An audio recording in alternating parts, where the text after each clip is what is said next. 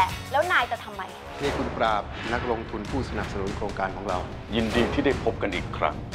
ทีหลังอย่ามาขวางวิถีกระสุนผมอีกนะครับคุณปราบจะฆ่าผมเหรอคุณหลานทราบไหมครับว่าฟาร์มของคุณหลานเกี่ยวข้องกับโครงการค้าสัตว์นะครับ เชิญทุกคนมาดินเนอร์ที่บ้านฉันใครจะตายก่อนเป็นคนแรกดีนะ หวาดกลัวจังเลยอะ แก้วกลางดงเอาผมคืเอานไว้นี้ 20 นาฬิกา 15 นาที ช่อง 3 ขอจวนแฟนๆ มาอู้กำเมืองไปกับหมูเฮากาสลองสองปีบไอ้หมอซับ รับรองว่าม่วนอกม่วนใจขนาดเจ้า อีกาสลอง ไปกันเตอร์ข้าเจ้าลาแล้วเจ้า งามมากจริงๆ